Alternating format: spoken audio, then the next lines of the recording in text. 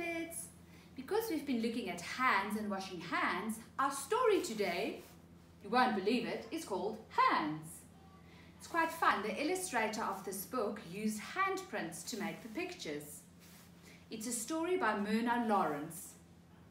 Let's have a read. Hands. A hand can be a tree so green in which many birds can be seen.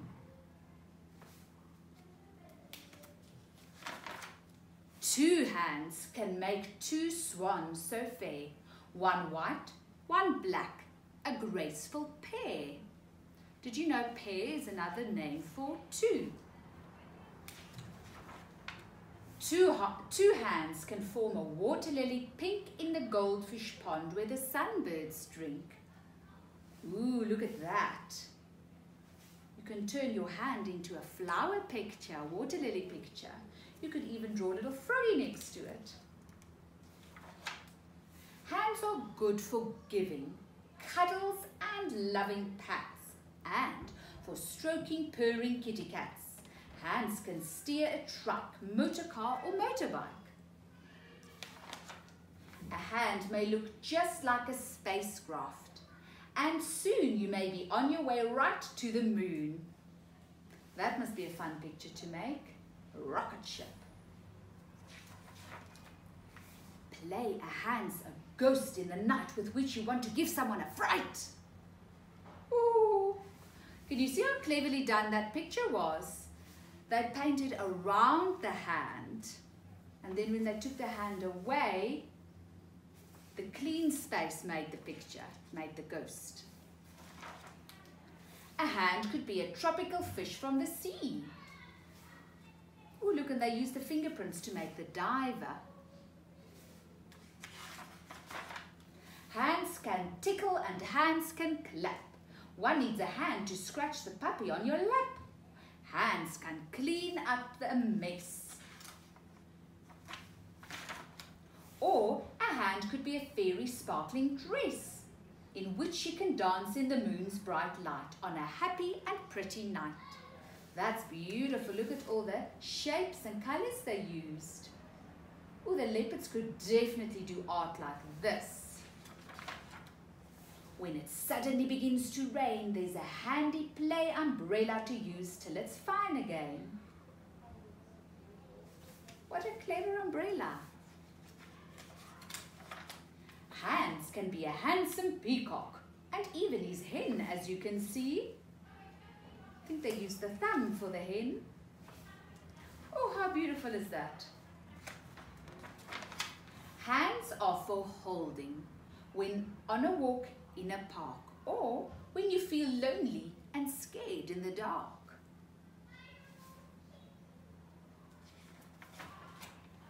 A hand makes a jeweled crown for a regal queen. Oh, that's beautiful. Hey, imagine you had a big crown like that. The most beautiful butterfly you've ever seen. How many hands did they use to make the butterfly?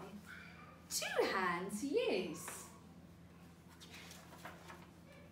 Hands could be a range of high purple mountains or splashy garden fountains.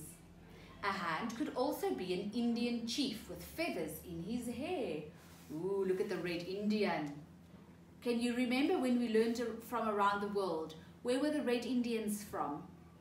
Hmm, from America. Hands are a twosome, a couple, a pair. Hands can say, I'm angry or hurt, I'm sorry or I care. Hands fold gently when you pray. Loving hands tuck you into bed at the end of a long, long day. Oh, that's beautiful. I love this book because it shows us one of our habits of mind is to be creative and to be to use your imagination. I quickly want to show you again. There, the hand was a tree. There were two swans. The two hands over each other to make a water lily. A rocket ship. A ghost. But that one's a bit easy because you don't really use the hand. the fish is beautiful. Oh, and I love this princess dress. Ariana, I can just see you trying this. And even Hannah. Oh, and an umbrella. And what about the peacock? That's beautiful. Sure, the boys could try this one or the rocket ship even. Let's quickly look at the others too. There's a headdress for a queen, a crown, and a butterfly. I think this one's too easy though for you guys. You big children now. Ooh, I like this one. Milo, you must try this one to make a red Indian um, headdress. Hey, our hands could be all kinds of things and the book taught us that even your hands are used to show emotion. When you love someone, you can blow kisses. You can shake hands when, you, when you're happy.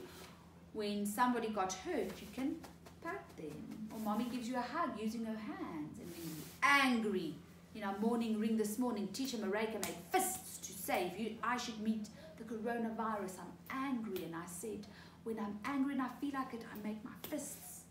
So did you ever think about it, that your hands are also handy to show you the way you feel. Isn't that clever? But I've got a challenge for you. This was really an inspiring story. I really would like you, if you've got paint at home, to use it to make a picture using your hands.